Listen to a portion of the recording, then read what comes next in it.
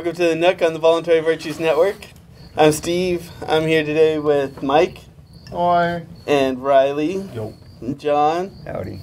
Christy, Pamela, and Britt. Brilliant. How's it going? Uh, Dylan. Brilliant. Brilliant. Dylan. Brilliant. That's Brilliant. good. Brilliant. I like that. Brilliant. Chilling, brilliant.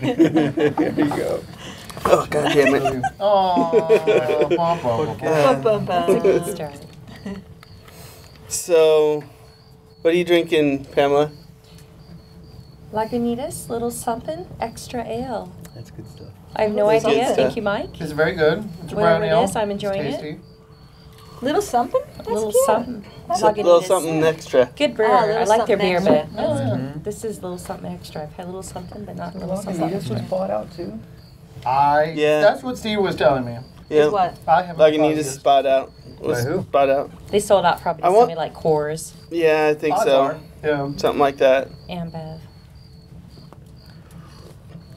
So what's the Since- topic? Unfortunately, since- there's very since few these beer now. Companies have been selling out. Like I'll get their beers and like they won't taste as good. Are you sure, or are you just imagining? I like That's them the- that's before the they were thing, cool. is I don't Right. know Yeah. if it's just in my head or if it's in the beer. Also, I don't. Yeah. I don't know. But I don't like it. Maybe it's the. The love brewer's has been eliminated from the beer. Yeah, maybe just the It's love is gone. You know, a now it's just about the dollar. Yeah, and it's the a They have to water it down so the average consumer enjoys it.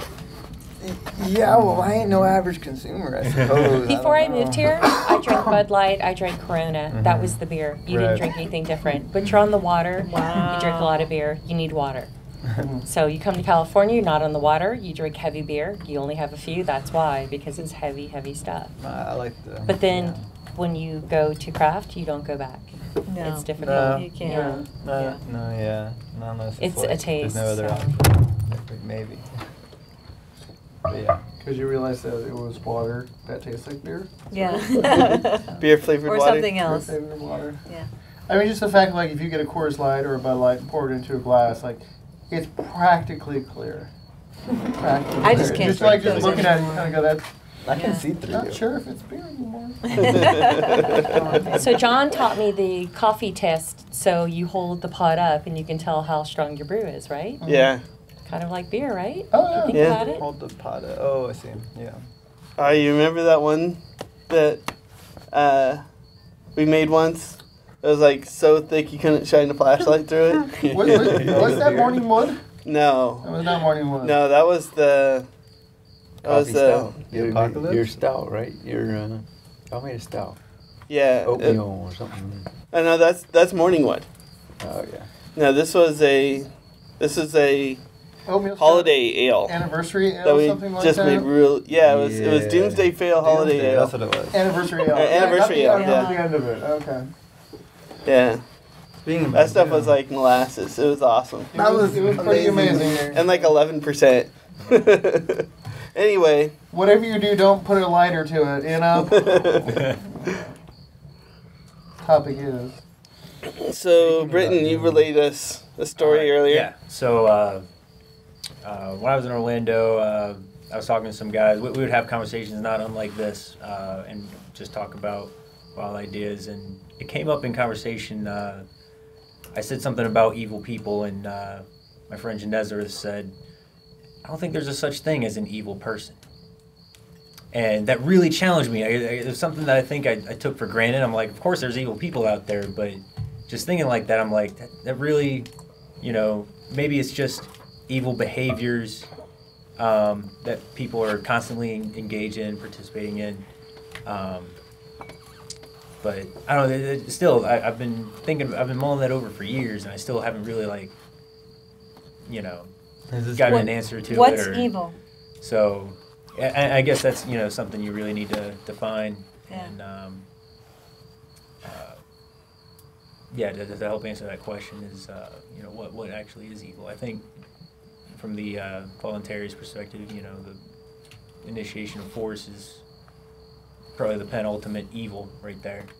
But uh, Just at the simple initiation. So, are you what you do yeah, I think that's definitely or part it. have done? yeah That's another question right because I think um, many of us have at, around this table or around this fire have There's a table on the other side of the camera. It's really nice. There's nobody a really nice table.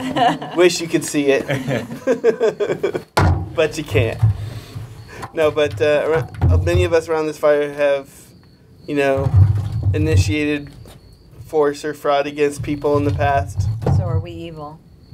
Yeah, but does that make us uh, Evil. evil? I always say if we are constantly defined by the mistakes we made in our life, then why would you, we choose to do a different? Why would we choose to take a different path? That's a good point too. Because if you're constantly going to be looked at every mistake you've made and judged on that, why the fuck am I going to change? You're always going to look at me like that.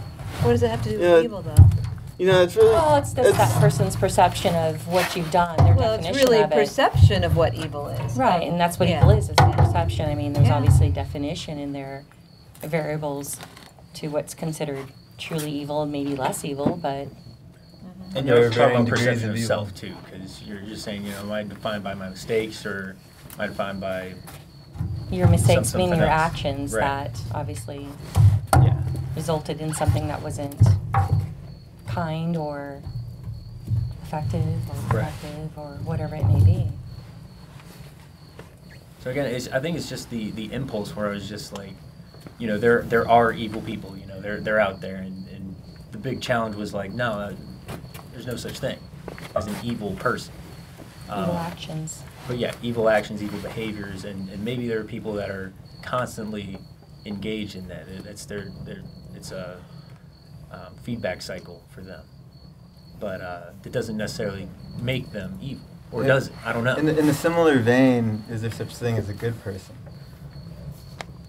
Good deeds. Is good there actions. such thing? Right, I yeah. think it's like the how often they are that, like how often they are evil or how often they are good. But your would- determination of that is different than my You're right because that, it's all. so You're right. I totally I- Somebody agree. could do one You're thing right. to me, and I'm You're like, right. it's my whole world. They could do ten Yeah, things, and you're it's not enough. Right. Is that a false Yes. dichotomy, good and evil? Mm. Yeah, That's why good. is. There is It no is. good, and there is no bad. yeah. There is no right, and there is no wrong. Judgment is. Then, then what's to say that you know the people who are in you know usurping people's liberties and lives that they should cease and dismiss such behavior because if there is no bad, there is no wrong, there is no evil, then who's to say that they don't have that that's not something that they should not be able to do? Well, but if they're harming somebody, then it then they that so would be are you something we wouldn't want. Are, are you defining harming somebody as as wrong then? Violating somebody's. Because if if that's yes. wrong, then there is right and wrong. I think initiation of force is wrong. Yes, I do. In in my world, It's not respectful. It's, it's not not. kind. It's not kind. It's not loving. You're you're. Tragic expression of needs. I don't know about that, but it's just Yes. not right. Thank it's, you, Marcia. let's take it- Let's take it uh, another down another avenue, right? So whether you agree with it or not, or believe in it or not, there are people who, just like some worship uh, your common Abrahamic religions, as an example, uh, and they may be pious and have good intent. Um, there are also, on the inverse, people who worship the opposite of the deity of those Abrahamic religions with the intent to harness that energy, so to speak, and use it for what would universally be considered bad ends, right? That is, Yeah. that is murder, rape, assault, theft Yeah. for personal gain Yeah. right? So, uh, do would they call themselves evil? I don't know. Is that evil, right? So I'm just saying that certainly there are people who are doing what you know, worshiping the dark side of things, so the the destructive forces of, of nature, so to speak. Is that evil? I don't know. Maybe I'm Whether- naive, but I think everybody at some core level, we know, you know, molestation, adultery, whatever you want to call it, just ruining somebody's property. You know, at a core level, that's just not a kind thing to do. There's there's just something that's just not productive about that whatsoever. So I think even those folks that are changing and, and, believe in that dichom- dichotomy, whatever you call it, yeah. dichotomy, they innately know that on some level. I do. I think that really. Maybe I'm just giving them credit for that, but even, they even like a, a the false- psychopath or sociopath or uh, a nihilist, you know, they, they would still they have know that that's wrong. I think they have moments of clarity. Yeah, I think they do, but not maybe somebody to that extreme. No, no. So does an evil person have to know that they're evil, or can they just be psychotic and not? Maybe you get so wrapped in it you don't realize the difference. I don't know. I don't. I mean, what is evil? What's is there a definition of evil? I think is there's there? a good definition of evil. I came across it in a evil like or perceptions of evil. Um, it's called the devil. Perceptions of evil from antiquity uh, to primitive Christianity, and in that book, the guy spells out that you know evil is the conscious, intentful, willful act to bring suffering to an, a sentient being. Bring what? Suffering Oh, bring suffering. Oh, bring to a sentient suffering. being. Oh, okay. And there are varying degrees of evil, right? Because like there'll be a spider that I'll like wash down a drain because I don't want him. Is he around. sentient though? The spider's not sentient though. He perceives the world to Kinda. a degree. To a degree, a very limited degree, but He knows yeah. to run from that flame. Yeah, He yeah. knows, you're yeah. he knows pain. He knows fear. Right, right, because right, he uh, okay, you know yeah, all right. avoids. Unless we can talk to somebody who's been a spider, we'll never know. Literally, we'll never know unless we can talk. I don't somebody know if I've spider. been a We, we can observe spiders' behaviors and and, and uh, you know reason to a degree. Anyway, moving have. on. Is, is it possible that spiders have been trying to talk to us this whole time and we just haven't gotten it? It's always Yeah. possible. They always talk to me, man. I don't know since day one, guys. Spider whisper.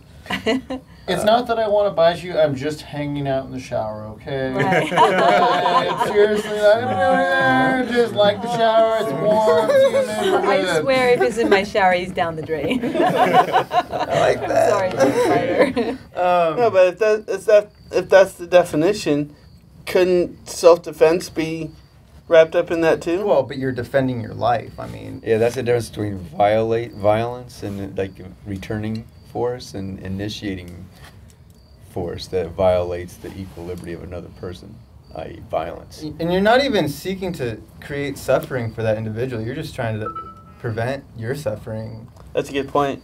You know. okay, so seeking seeking suffering in another person. Seeking. Yeah, like, I So- have to but, actually but be still, we're talking about the action being evil, not the person, right? Um, well, so so. in that same book, the guy he mentions how you know because there are varying degrees of evil, of course, like the Boondock Saints teaches us. Um, Like what? Yeah. we bid you not cross into you know our domain. Um, so he talks about how we have to approach evil or think about evil not categorically like absolute evil, right? Because evil is relative. So, but rather in terms of our experiences of evil, like we all, he, he, he you know, he makes a very clear point in, in terms of we all experience evil done directly to us just immediately. Like when someone rips us off or violates our things or, you know, us or whatever, then we perceive that immediately as an evil act happening. And so that's how we have to approach it. And, and, we, and we can um, broaden that immediate experience of understanding, you know, the nature of evil through by the means of uh, empathizing with one another Mm. and each other's sufferings. Um, but yeah, evil exists.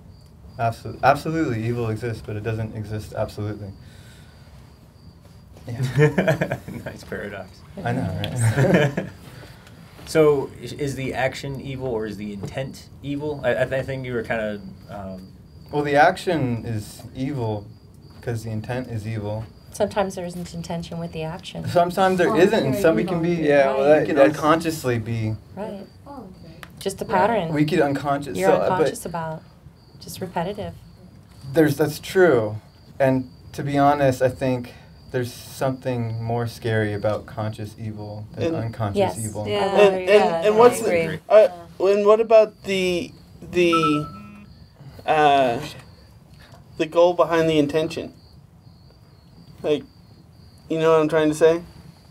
So it's just a basic They- need that's I needing to be met, and they don't have the courage or the ability to express it. So the action that's played out is is evil, as opposed to being able to communicate what they're Right. really needing. See, I So don't would you think deem it as anybody. evil, or would you deem it as just not knowing any better? How would you? That's ignorance, right? And and Socrates says that that's evil, basically bad. What bad is is Well, Pluto said it was evil. But how can you blame somebody for something they Pluto really don't know or that they're Plato? doing? Plato. well, the Not little the dog, dog, man. yeah. it, it's not like it's that not dog like, is smarter than you think. I mean, evil defined here is like everybody. I mean, because I think uh, most people um, create suffering in other people, like Yeah. in not knowing, like, and even knowingly. It's like Sure. We you create know, suffering within yeah, ourselves. well, exactly. We create suffering within ourselves. I mean, wow, this just Yeah. like opened my world to evil. I thought it was way more calculated Mm. than just the idea of creating suffering in somebody else. So if that's Yeah. if, if it comes from a place of nescience where you, you just don't know um, what's going on, it's, it's unconscious, and, and, and you did bring it about, but um, but then you bring out you know, the ignorance. If it's willful ignorance, like you know, I really don't want to know, I don't want to become conscious of, of my actions. Is that the actual uh, evil act? That's a good question. and what I- I would- about people who have that is an evil act. who have been fooled into thinking that it's not evil Mm-hmm, mm-hmm, by someone else, hmm hmm Yeah, or by you know Even you know Like- twelve years Like of war. schooling and Yeah, war Yeah. and I think is it's still a place of nescience, but and um, What's nescience? so not knowing. Okay. Naivete, different. Right. types Well, yeah. yeah, I think yeah, it's even to the point like with no reasonable expectation that you should know, right? So the difference between ignorance is uh, you're ignorant if you don't know something, but you could know it. Their Mhm. information is available and you could know it. Mm-hmm. And nescient would be someone who's ignorant, but there's no reasonable expectation for them to know, Mm. i.e., you're in the Central African Republic, you can't read and write. And, Yeah, the, you infor- and the information don't isn't available to you, right? Yeah, So- you can't. Yeah. Yeah. that's Give a good summary of some dissertation. That's gotcha. Interesting. Cool word. I think it was. Uh, I'm really glad you mentioned it earlier, Brett. You said intent, and that is very, very important. Is what was the person's purpose in doing those actions? Uh, uh, an example of that, I guess, a simple one is okay. The difference between murder and manslaughter is intent. If you intended to kill them, it's murder. If you do not intend to kill them, it's manslaughter. So that that's essentially if there's somebody's on trial for murder, that is almost ninety percent of the time the argument. Right. I did not intend to do it. You know, oh, he, he fell down the stairs onto a knife. Wow. You know what I'm saying? But Like, both of them are evil. I mean, in this this simplistic definition, it's they're both evil because they Yeah, cause so- suffering. Well, so intent is im- is important, Mhm. but another good way of looking at evil, I think, to try to you know broaden our understanding of it is to just think of it as like bad or like not not good. you know, it's not like categorically like absolute evil, like as in like a metaphysical evil, like devil type embodiment. It's just like, for instance, my wife tells me to bring home milk, and I totally have an absent, you know, a slip of absence of mind, and don't bring it home. Like Is that what this that's, You are evil. That's what it's about. that's, that's evil in the sense that it's not as good as had I remembered. It's less than good. You still have time. Which would have been. it's still sealed. It's just You stop by the store, drink some on the way home. It's all good. I'm sorry, man. Carry on, please. so yeah, like me forgetting the milk, like that was quote unquote evil because it wasn't as good of having remembered. So evil doesn't have to be this like categorically like imperative thing. It's just So now my wife's so wait, sad that so there's no milk where at home. did it, you know, where did evil come from? That it was like, Probably the like, Bible. It came from the human soul. Evil bastard. But where was it first referenced? Yeah, was it like the Bible? Evil Right. being Uh, this Bible. like Oh, I mean, there are horrible works uh, before the this I, the idea the idea old as the from Bible from my that talks about understanding the idea of this good versus evil light versus lot dark kind of Uh, dichotomy started with Zoroastrianism. Yeah, Okay. but that was just a re-rising of a civilization and a way of thinking that would far outdated, or outdated. But yeah, that's correct. Uh, that is, as far as I'm aware, too, the the earliest conceptualization of this dichotomy between good and evil was, was Zoroaster. This is where Nima's two cents would become Yeah, useful. Nima, We know Nima. Zoroastrianism. Yeah. Shut up. Nima, put it in the the uh, Comment the notes down below. below. Tell all about Inform us on Zoroastrianism. this Now we need to know. Zoroastrianism. So there's a concept called Wetiko, and Paul Levy. Paul Levy uh, forwards this, this. He wrote the book I think called Dispelling Wetiko, and Wetiko is uh, an American Indian uh, concept of essentially a virus, and uh, the depiction of Wetiko is like uh, this kind of uh, demonic figure with a with a human, a whole human in its belly, and the idea is that it eats you whole and is insatiable, and can grow and jump from one mind to the next to the next, till it can grab whole societies, can be po- possessed with Wetiko, Sounds like democracy. and. Uh, Most people Belly of the. Nice. But yeah, no, it's an interesting concept that that uh, you can essentially defeat wheat Wetiko, but you can never be completely immune to it. You can always take you take hold of you. Yeah. And uh, Libertarianism. right, so that, that's uh, anyway. If, uh, it, it kind of it, it fit in nicely with what we're talking about, and it might be something that uh, some of us might be interested in exploring. There's two It's wolves fighting interview. inside you. Yeah. That sounds really interesting, actually. It's a great interview. Um, actually, put it on for Yeah, my right? daughter while she was falling asleep the other day, and I was like, "That's kind of a weird thing for her to fall asleep to," but it's like I'm totally cool with it because it's a really good interview, and uh, yeah, it's just an interesting take. The Native American, I had never heard about it before that. So the, in the, the, least the way Levy tells it is that it doesn't really exist. Wetiko isn't a real thing, in so much as it is a concept, and that's where I come in with say, evil is an interest is uh, an abstraction, uh, uh, an idea that we can have a conversation around and identify Bad people. unfavorable, unsavory Yeah. type. uh, Yeah. uh, concepts, but at the end of the day, just like rights, it doesn't really exist.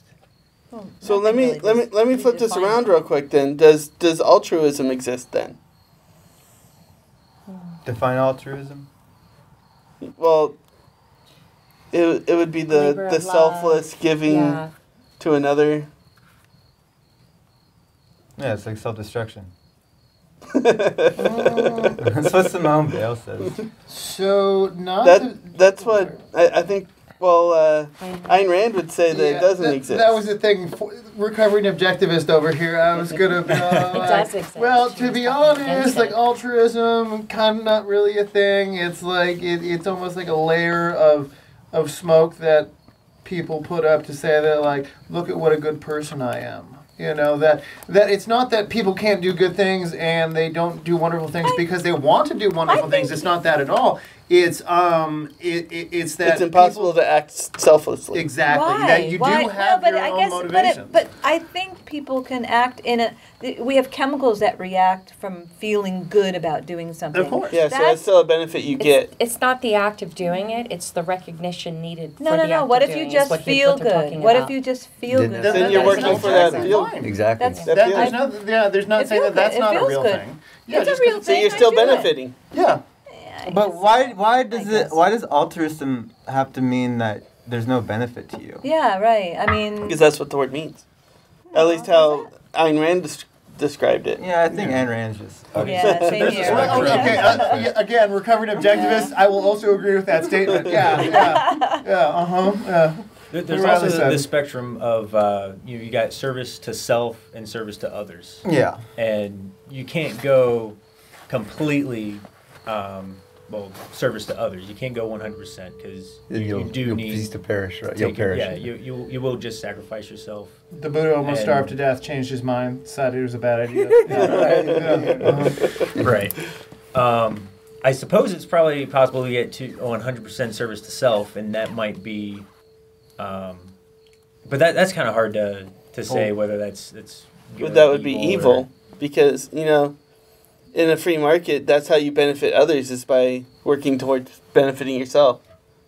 But that, from the voluntarist perspective, is good. You know, anarcho-capitalists, whatever would say that's good. That's it's the the liberal socialists that are going to say, well, if he's just doing it just for his own self gain, then that's evil. When But see, on a free market, you don't benefit yourself without benefiting others. exactly, right. So That's where I think you know this whole self-other relationship.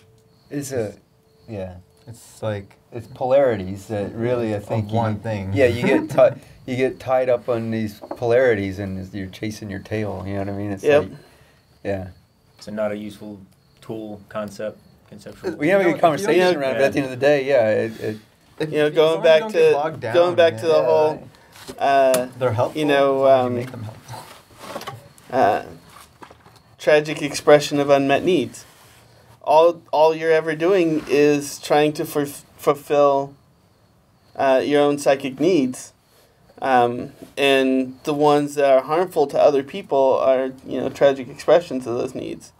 And And those are evil. if you no, oh. I'm saying I'm well, saying harmful. You said there's ways- suffering. There's solve the ways there's ways to to fulfill your needs without harming people, and that's what I think we need to teach people.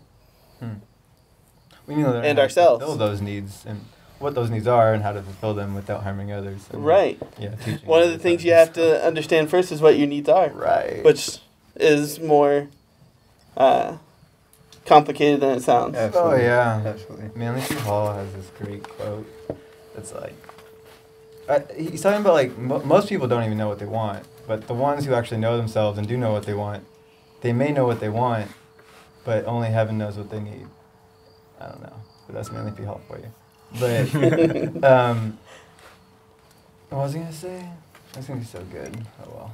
Felt- back. I know. It Amazing really was there, but my mind is in too many places. Anyway. I, I was thinking about like different Like you, varying degrees of evil, and all I can come up with my mind is the little like oil blob thing from Fern Gully.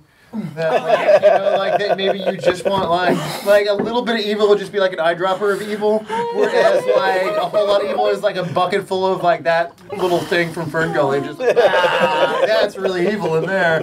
Don't go near that. That's evil. Yeah, that's a great concept or a great visual, you know. Because I think with this looking at definition, I think a lot, uh, most people are evil.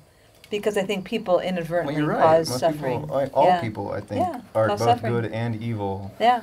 um, and to varying degrees of both. But I like what Albert Camus, I guess you pronounce his name, said in one work that I heard about once, where he says that we really can't judge a person's intention because that belongs to that person and that person's Yeah. intention is sentient and singular to that person and we're just Until we can their read their actions. minds. But evil. has unless nothing- some people but can evil you know has nothing to do well, with let's just- intent. It just hearts, has to do with. And that with- speaks to like the real world, like in the legal system. Uh, sorry for going there, but uh, like hate crime and whatnot, judging intent. You know what I mean, right? It's like you can only judge it in, at least in the physical world. You can only judge the action in reality. yeah that's what And he said, that seriously, you can only at, at the end of the day, do the you care why Yeah, a guy yeah. kicked you in the gut? Yeah, right. All you care is that your stomach hurts. I kind of care. Like if I had it coming, then I would be like exceptionally be more understanding. But if he just kicks me, Do you ever? Yeah, had it coming. I mean, maybe if I like punched him in the face. Yeah, if he did maybe I did. But I hear what you're saying. pain is pain, regardless of why. It's not often I quote the Bible, but Ooh. here, so but here today is the exception. Yeah, Riley's never heard this before. um, so, at, at one point or another, I'm, I'm sure Steve could help you out with a specific verse, but at one point or another, doesn't Jesus say, "Who here has not sinned"? Yeah. he Yeah. does. So Yeah. think about that. Like Yeah. if we're talking about very Well, he Yeah. says, He, "He he, who was has not." without sin. Yeah, he yeah, was he without was without sin. sin, cast, Cast the the first first stone. stone. But, but Yeah. the, the thing is, but the the, the, The the gist of takeaway it, is the who here Yeah. i- i- is a is, Right. is pure, Yeah. who has Yeah. never done anything Yeah. wrong in their life. You know. Right. So, and there it is, everybody. I just quoted the But Bible. Never again. Apparently, yeah, that never Jesus is happens vague. ever. So, Happiest uh, moment of my life. So then, if if we've never seen, are, uh, is, are these robots like? Okay. all right. All right. Is that sin? Robots evil. the, the piano just hit the factory floor. Okay, so robots. Can a robot sin, it, sin if it's sentient? Oh my god. I don't know. So, okay. Wait, what So, about that what- what- Google character that they created that's been tweeting? She seems Oh, yeah, pretty she- evil. yeah, she- oh, yeah. Oh. No, they killed her after Yeah, a day. she was pretty evil before Wait, what died. happened? After a day, they Yeah. killed. They, they Oh, created this was- new yeah. AI that they released out onto the world. She was racist. Uh, she was she was- and and, Was and the way they created her, they they She she was was, supposed to pick up culture. aspects Yeah. of the culture that she Yeah, it was a So that our she culture inhibited. So and, and She but see, it. She they went to culture. they went to comment sections. She was the she was essentially the if the comment section came to life. yeah. uh, So Oh, she was like was Hitler sad. wasn't that bad of a guy. All the worst parts of humanity. Yeah. Yeah. Wanted to have sex with everyone. I think her data set was pretty small. So Uh, what was it? Uh, Google. Uh, that was the Google AI thing. That's like a. They can ask questions too. That's Was like it a called? Sorry. I don't know. Uh, n- not Google Brain. Google. Siri is iPhone. Mm, yeah, no, it's just like a. It's, uh, somebody put it in comments, please. Thank you. Um, that it, it, it's, a, it's a website you can go onto. It's like Yeah. Google's little AI thing. Oh to yeah. this day, if you put anything about cats into the the hey, what's going on today bar that you have for the AI, it freaks out. What? Yeah, don't mention cats. Secretly the world Well, it's because like when they first started it up, people were just posting stuff about cats, Mm-hmm. and so it's almost like a s- like a traumatic childhood experience. for people. that if you mention cats, the thing freaks out and spews out gibberish. It's Oh, probably yeah. because the videos on YouTube are dominated by cat Cat- videos. Yeah, Probably. that's probably Yeah. what it is. Oh yeah. Yeah. And on that note, good night. good night. Happy 420. Happy 420.